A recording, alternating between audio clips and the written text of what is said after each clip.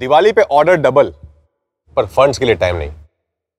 ऐसी सिचुएशन में धंधा अटक जाता है। पर इसलिए तो लैंडिंग कार्ड आपको झटपट बिना झंझट के बिज़नेस लोन्स देता है, ताकि आप डबल हैप्पी दिवाली मना सको। लैंडिंग कार्ड है तो बिज़नेस इज़ गुड